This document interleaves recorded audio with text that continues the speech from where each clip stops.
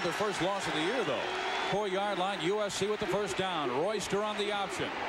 Oh, good hit. Chad Cota. Chad Cota, the freshman safety, just hit, drew a bead on him that time.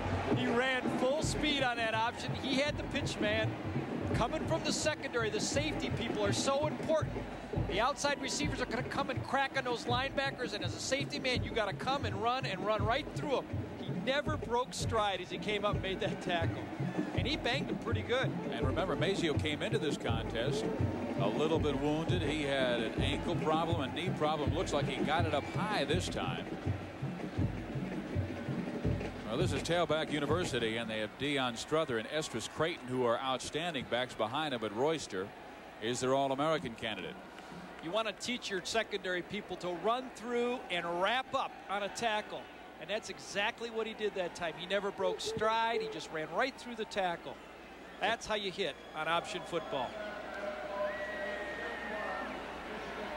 We talked to Mazio last night at the hotel that USC was staying at, and he said he has not felt this healthy, this ready to go since before game one in Memphis State, and he ran for 97 yards in just the first half against Memphis State, and then went out of the game and did not play in the Penn State contest that USC won. He had a little bit of an ankle bone spur in his ankle, and he seems to be getting better. He said he wanted to carry the ball 35 times tonight, and his coach, offensive coordinator John Matsko, was kidding him, kidding him saying, uh, I'm going to give you the ball all night, so don't get